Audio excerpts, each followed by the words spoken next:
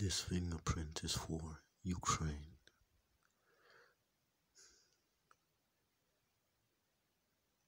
Ukraine is fighting a big major war right now against Russia.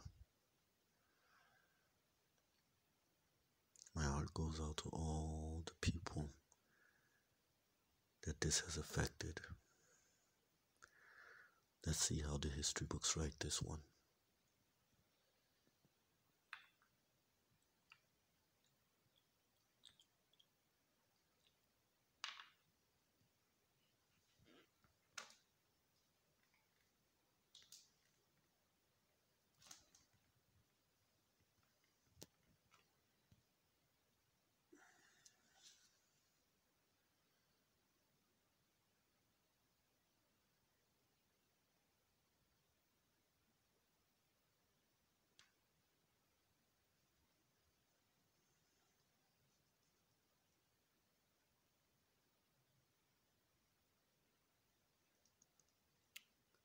Feel free to give your own interpretation of this.